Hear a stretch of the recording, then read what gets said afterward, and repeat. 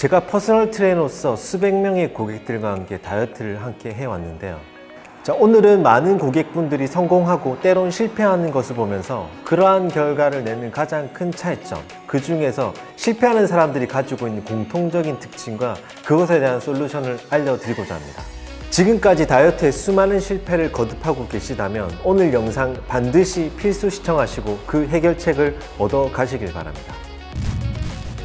다이어트는 기본적으로 힘들어요. 해보셨죠?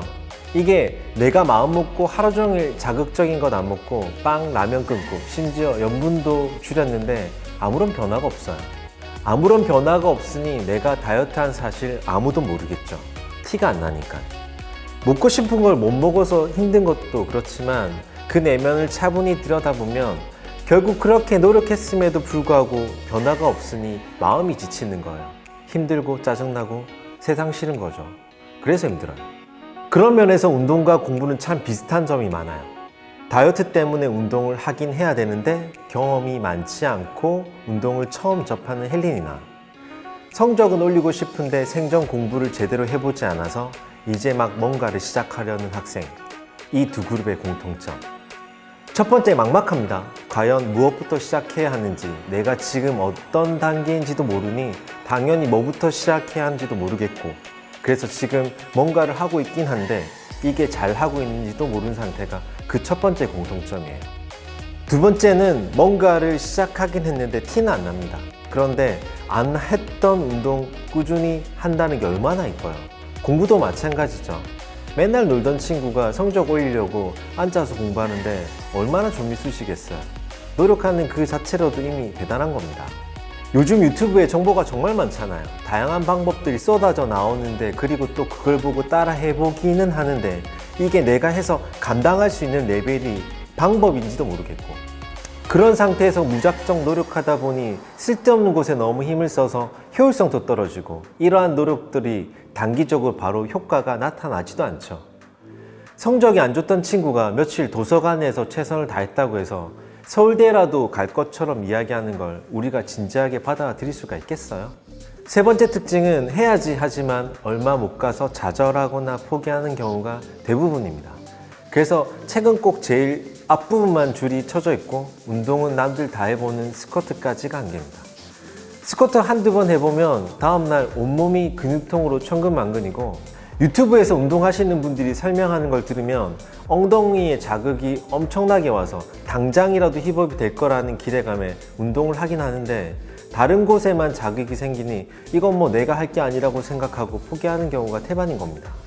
공부나 운동 모두 적지 않은 시간을 투자해야만 적정 수준에 오르게 되는데 그리고 이게 너무 당연한 말인데 나의 상황에 대입하게 되면 머리로는 이해를 할 수가 있는데 가슴이 그걸 받아내지 못해요 밤새 공부해서 시험을 쳤어도 이전보다 점수가 떨어질 때도 있어요.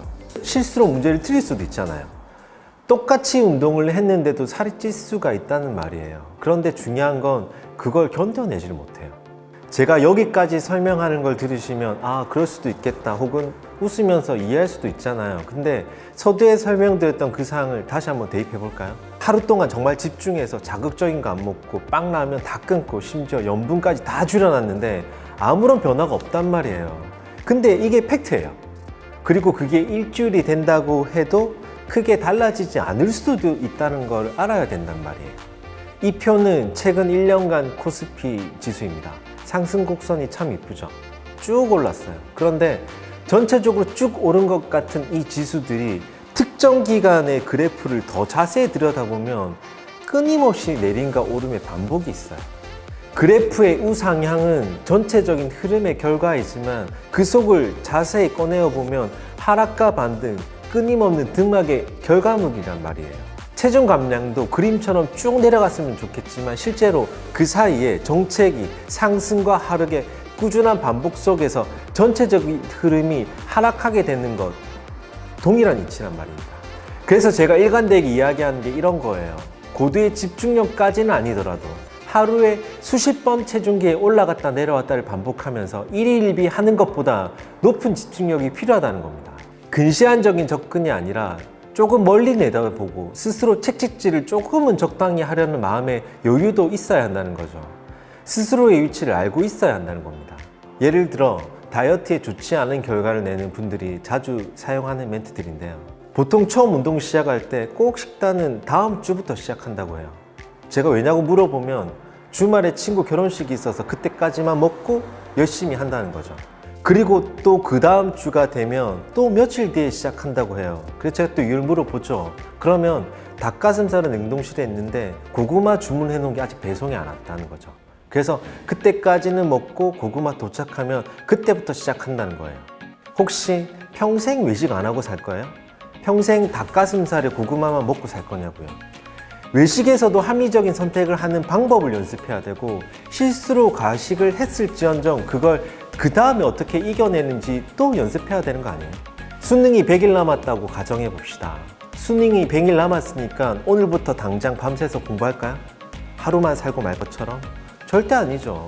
컨디션 조절하면서 좀 더 긴 호흡으로 봐야죠.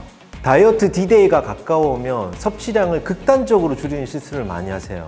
이건 뭐 수능 전날까지 밤새는 것과 뭐가 다르냐고요. 그러니까 결국 요요 오고 폭망하는 겁니다.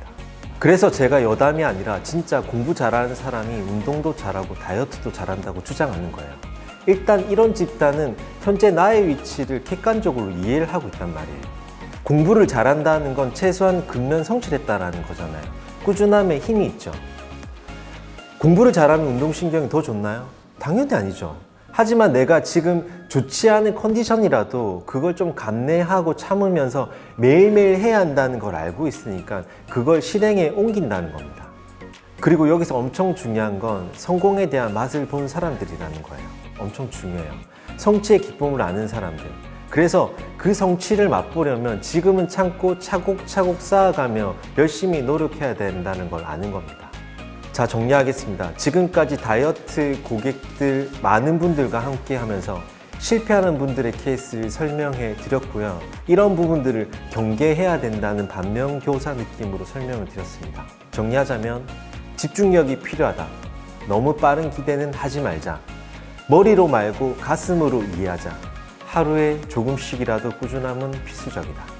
저도 모르게 집중하고 속상하면 말이 이렇게 확확 나와서 조금 들으시면서 오해하지 않으셨는지 모르시겠네요. 다소 거친 표현이 있었다면 오해하지 않으셨으면 좋겠고요. 다음 시간에도 또 다양한 컨텐츠를 준비해서 찾아뵙도록 하겠습니다.